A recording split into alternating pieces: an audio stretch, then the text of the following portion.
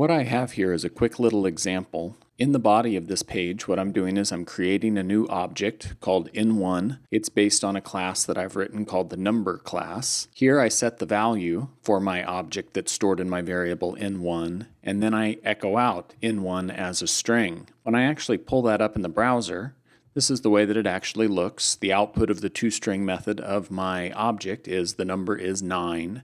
9 is the value that I set to be the value of that number here when I used my set value method. So I'm really just doing these three little lines there. Up at the top of this file is where I actually have my number class. You can see that here in the number class, each number has a private value data member, a private value variable that it has stored inside each object. I have a little constructor the constructor can be passed a number. That number is then passed on to the set value method for that particular object. The set value method itself can receive a value and will then take that value and actually store it in this object's value variable. And then I have the toString method for the object, which just returns a string. The number is followed by the actual number. What I want to talk about in this example is different ways of potentially handling errors that might occur. The error that I'm thinking that we might want to try to deal with here for practice is what happens if we try to put a value into our number object that isn't a number. So essentially here when the set value method is called, when I call set value, what if I pass it something that isn't a number? Well, the way it works right now is it takes whatever is passed, no matter what that might be, and stores it there in the value variable. We could go ahead and give it a try just to confirm that that's what it actually does. If I come back down to the body of my page, instead of setting a value of 9 the digit, what if I said 9 the word? If I go back over to my browser then and refresh, you can see it happily accepted the word even though it's not actually a number, which is what I had intended. So how could I prevent that from happening? Back up in the class itself, since the value itself is actually coming into the object through this set value method, that seems to be the logical place to do our, uh, I guess you could call it data validation. What if right there I said if is numeric, and I checked the value that's in the v variable, and if it was true, then I went ahead and assigned that as the value for the object. Otherwise, maybe do nothing. With 9 being the value that I'm setting, if I try that in the browser, uh, it doesn't like my isNumeric function. Oh, I misspelled isNumeric, didn't I? Let's go back and fix that. There we are, numeric. Now in the browser, it seems to be working fine with the value of 9. If I come back and I try to set a non-numeric value instead of the digit 9, if I again try to put in the word 9, then in the browser I end up getting a value back of 0. So fine. Since the word 9, N-I-N-E, is not numeric. The if statement was not true, so we did not set that as the value for the object. The object ended up having its default value for value. What was the default value? Well, previously, when I had first created the object, I had passed the number 0 to the constructor. That number 0 that was given to the constructor was passed to set value. It was numeric, so that became sort of an initial default value for my value variable.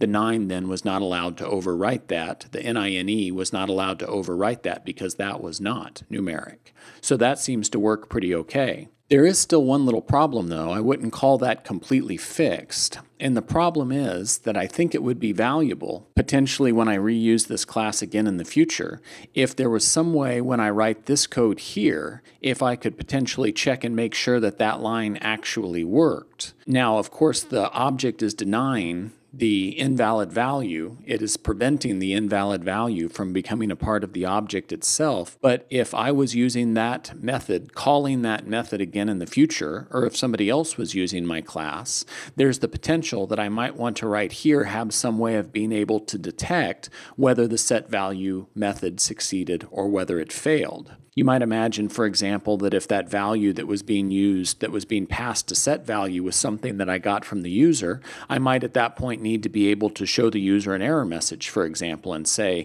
hey, the number you gave me is not right. We couldn't set that number. There's different ways that this potentially could be done, this error reporting could potentially be done. One of those ways would be for me to come up and maybe echo something from my set value function. Something like after I set the value, I could echo the value was set, or I could put an else to go along with that if, where I could echo the value was not set. The problem with that is That then assumes that anytime that I'm going to be using this number class, it would be appropriate to have these two strings specifically show up as error messages. Not only those strings specifically, but that they would be echoed very directly out to the output that's being rendered and sent to the user's browser. What if, for whatever reason, how I'm using the number class needs to have the errors displayed in some other fashion, different words, a different output? This would really lock me into only being able to use this set value method in one very, very specific way. So I would not want to echo directly here from my set value function. It limits the uses of this class too much a general rule of thumb is that if you can in all in any way at all get away with it, don't ever echo anything from a class that you write unless that class's job is very specifically to produce output. Here, this class's job is not to produce output. This class's job is to represent a number. So this is a very inappropriate place for me to actually produce any output. So echoes are off the table. I don't want to put echoes in here. What if instead of echoes, what if I instead had the set value method return something indicating whether things worked or not? In a lot of the examples that I've worked with with you previously, what I've done is I've returned Boolean values, returned true or false type values to indicate whether a function succeeded or failed and what it was it was meant to do. So here, for example, I could call set value, and if set value succeeds in setting a correct value, then I could return true. If we don't set a correct value, value, then I return false. How that would be meant to be used is that I could then use that true or false value down here to determine whether set value succeeded or not. So I could do something like call my set value function as part of an if statement, where I could say if the value is set properly, then maybe we show the output if the value wasn't set properly, then here in this particular little bit of code, this would be a much more appropriate place for me to actually produce some type of output telling the user something went wrong. So maybe what I could do is I could say echo the value was not valid, just as an example. Let's give that a try and see how that works. If I jump back over to the browser and hit refresh, sure enough, it, sure enough, it shows up and says the value was not valid. If I go back to using an actual valid value, the digit 9, then it works, the value is assigned, and everything seems just fine. So that seems to be working well. There is, though, still one issue. Again, I don't know that we can just stop at that point and call it done. The little issue that I would say that we still have is what if I try to set an invalid value through the constructor? What if I tried doing something like this, setting 0, zero, as the value in the constructor, could I detect after that constructor whether the value was valid or not? If we come back up and look in the class, we can kind of trace our way through it. What we see is that if I try and take a value and I pass it to the constructor, it goes into this num variable.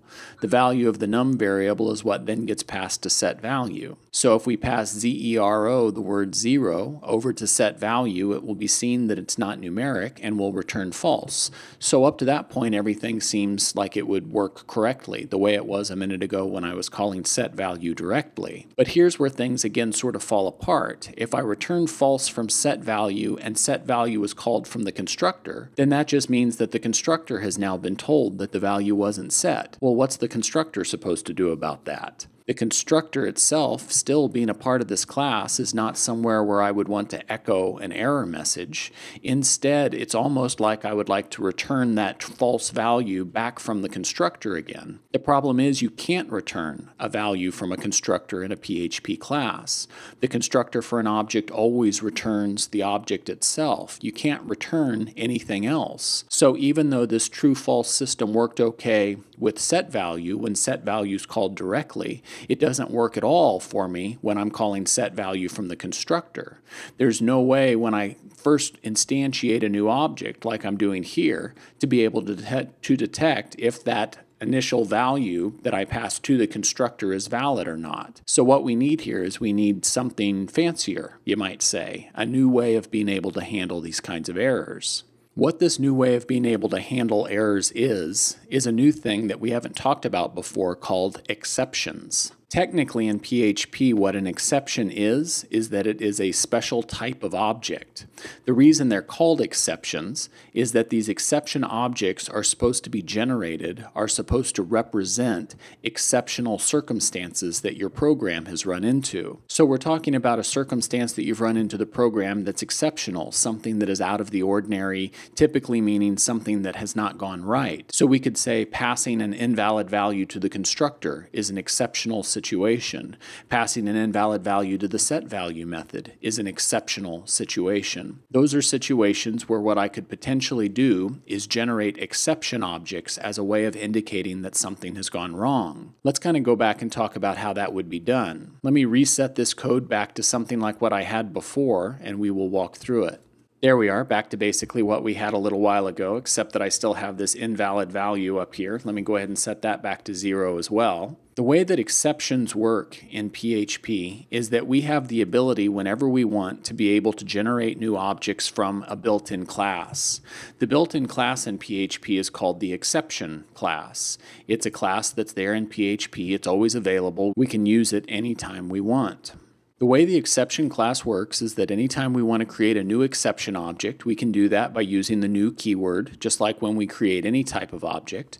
And when we do create a new exception object, we need to provide it with two pieces of information. The first piece of information we need to give it is an error message, which will be stored inside the exception object itself. So I could just put in a message, for example, here that this is a test exception. There we are. Second piece of information that you need to pass an exception is then an error number. These error numbers are uh, basically entirely up to you. You can make them whatever you want them to be. I could, for example, just say here that the error number is 1. What those error numbers essentially are for is to help us track these exceptions later. If we have multiple exceptions coming from different places in our program that maybe all have the same message, we can still put different numbers in them, and the numbers could then let us figure out which exception it was that actually was triggered if we're trying to debug our program. So this is how we actually create an exception object. As far as creating it goes, it's not that much different than any other object. But what's interesting about it is the way that we actually deal with it. There's a new keyword in PHP called the throw keyword. If I say throw a new exception, what will actually happen is PHP will create the new exception object, will instantiate it like any other object,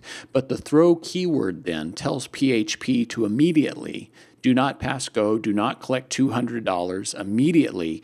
Try to find a way to deal with this exception. PHP at that point, the server will start looking through our code, different places that we'll talk about here in a minute, trying to find some way to deal with this exception that has been thrown. When you throw an exception, you're essentially pulling a pin on a grenade, in a sense.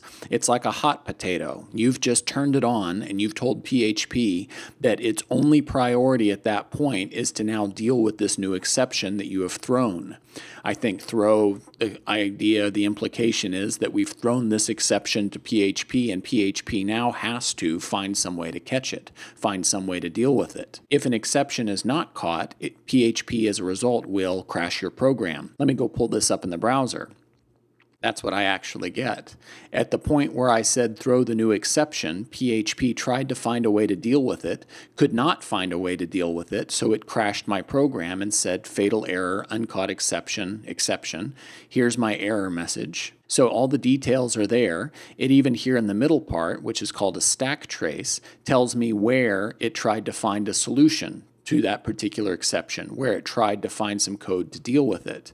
In this case, it tells me it looked on line 44 of my main, which basically means the uh, main part of my program, not in any particular function or object. If there had been any code that came after that, if I, for example, put echo test after I threw my exception, you see that the echo test does not execute. As soon as PHP has an exception that has been thrown, basically one of these hot potatoes that it has to deal with, it will execute no other code other than code that's specifically meant to deal with that exception. So how do we have PHP actually deal with the exception? Well, there's a new control structure that we use called a try-catch. The way a try-catch works is it takes this basic form. It starts off with the keyword try, followed by a block, a set of curly braces. Inside that try is where we then put whatever code it is that may generate an exception.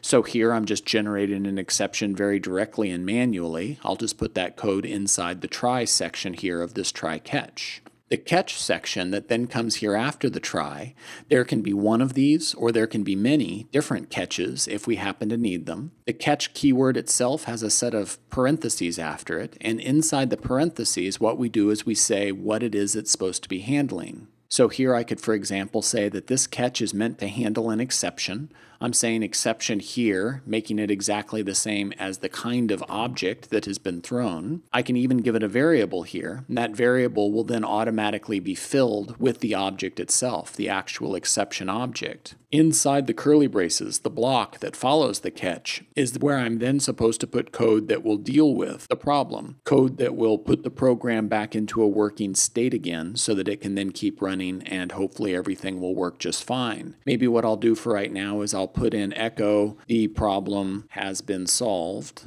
That should do the trick. And maybe also after the catch, I'm going to put echo test in back there. Let's jump back over to the browser now, refresh this, and see how it goes. Oops, it looks like I missed a quote somewhere possibly. Line 48. What am I forgetting there? Oh, did I forget the dollar sign in front of my variable? Let me put the dollar sign in front of my E variable there, back over to the browser, refresh, and there. Now things are working the way they should. You can see that what I got was the number is 9, just like I've been getting pretty much all along, except when I was forgetting dollar signs. It then tells me the problem has been solved, and you see the word test in there. So what actually happened in this particular case is all the code from line 38 through 42 here executed pretty much like normal. But then when we got down to line 46 inside my try block, we generated a new exception. Once that new exception was thrown, like I said before, PHP's one job then became find a way to deal with it. Well, in this particular case, the problem, the exception was thrown inside a try. So the very first place PHP will look for a solution to that is in the attached catch statements. So here there was a catch statement that went along with that try. PHP checked that catch and saw that it was meant to handle exception, basically objects of the exception class. So what PHP did to handle the problem was that it took the problem that was generated, the exception object, it put it into my variable e here. It then executed the catch statement, and at that point, PHP considered the problem to have been handled, considered the problem problem to have been solved. So when it ran my catch statement, it of course printed out the problem has been solved. Then, because there was no longer a hot potato in play, there was no longer an exception that PHP was trying to find a solution for, PHP went right back to executing code like normal.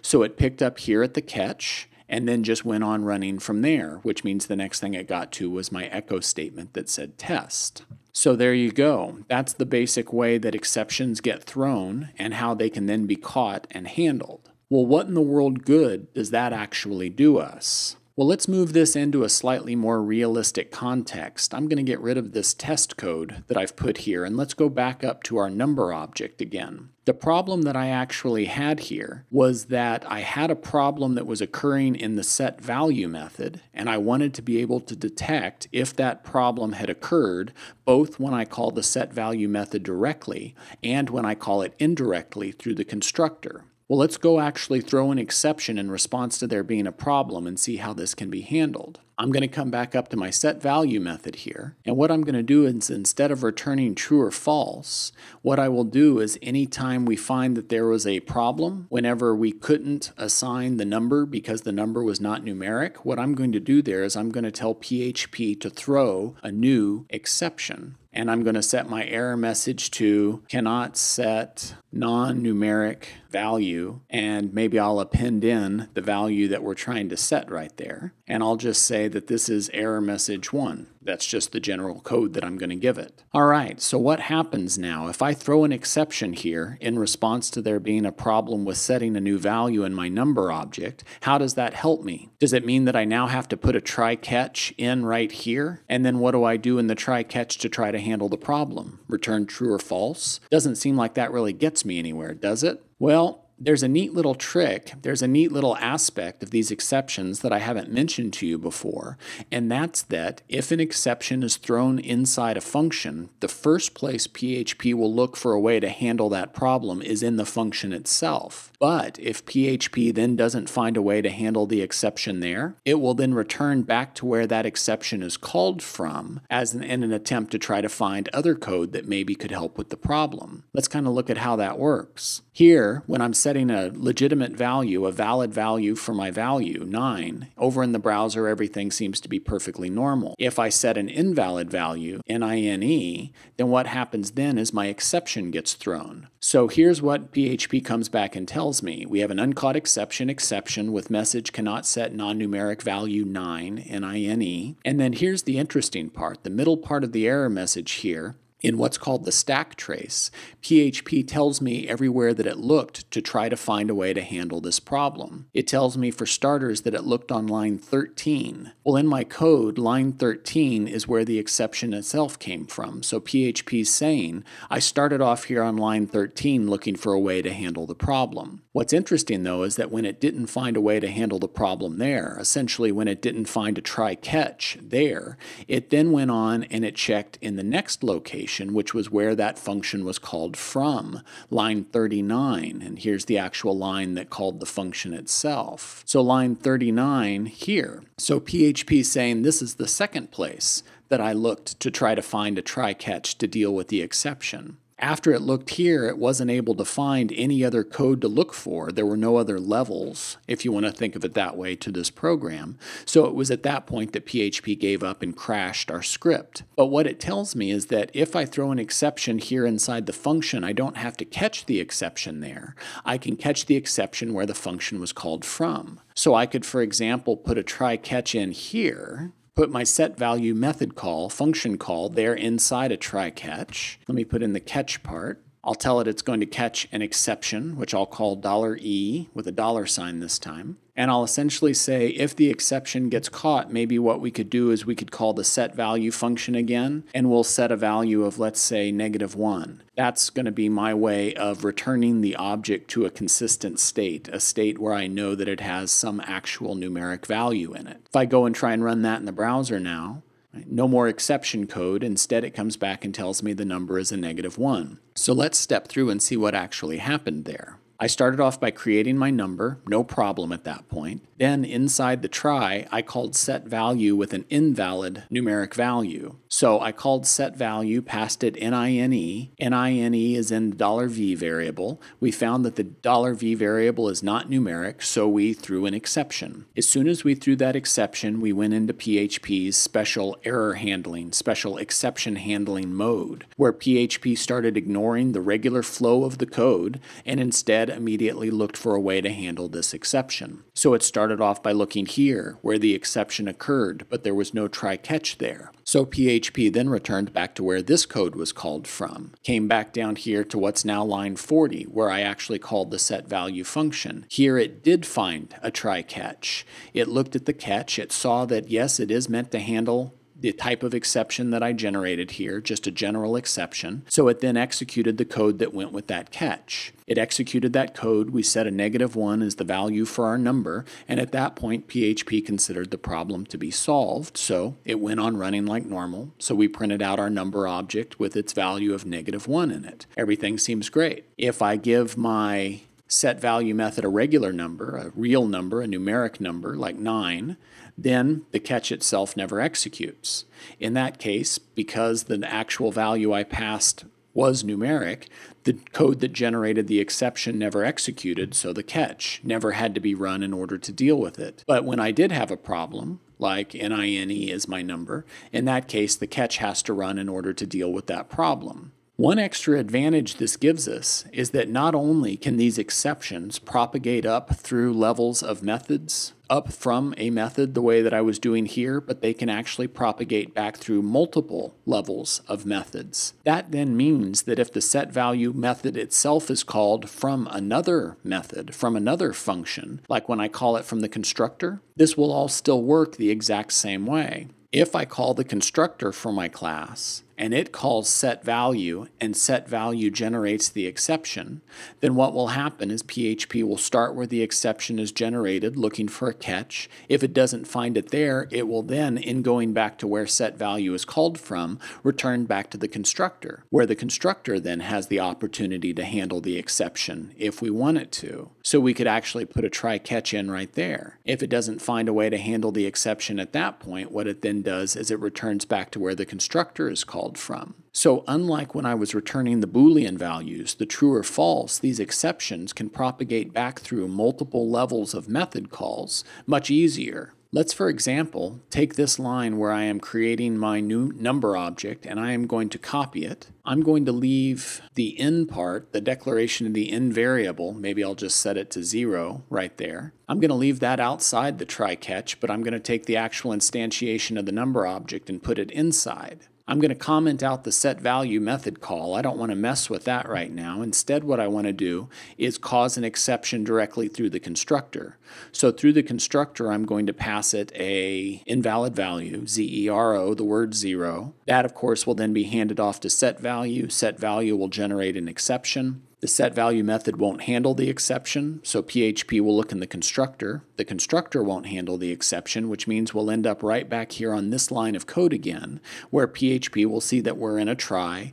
It'll execute the catch. The catch should then set the value to 1, to negative 1 in this case, where it will then go on and print out the object. Let's see what happens there.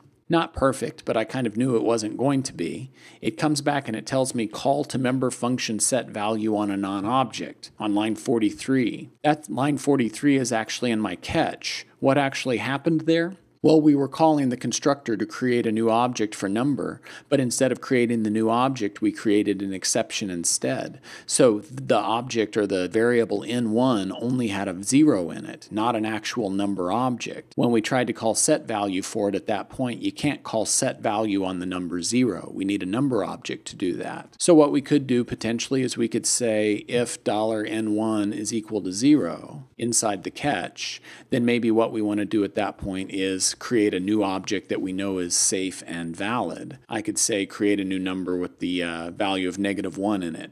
Negative 1 meaning um, no value set was kind of the way I was using it before. So we could do something sort of along those lines. In the browser now, you can see again the exceptions being generated, but it's also now being handled by my catch statement. So that seems to kind of do the trick. Overall, these exceptions provide sort of another interesting and definitely a little bit more complex way of us being able to handle errors than simply returning true or false values. Most of the time, you can get by in PHP pretty handily without ever having to bother much with these exceptions, or at least dealing with them yourself. They're, of course, there and you can use them if you'd like them, but they're not typically considered to be an extremely crucial or a centric part of the way that PHP operates. If you do like to use exceptions, then by all means you can. You might even look up the fact that in PHP you can create your own custom types of exceptions. So instead of us always using just generic exception, the way I've been here, we could create very specific types of exceptions for specific situations if we happen to want to. So even though we don't have to deal with exceptions in PHP, I think it is a good skill to know, if for no other reason a than that a lot of new libraries that are being created for PHP sometimes handle their error handling through the use of exceptions. It's useful to understand what they are and how to actually deal with them. Overall, the best course of action is that if a problem can be handled simply and effectively with just an if else statement, then that's still the way to go. If else statements are much more optimized, much faster, and definitely a lot uh, simpler to be able to deal with than exceptions are. But when you do truly have exceptional situations that can't be dealt with in, in any simpler or easier way, exceptions can be your best friend.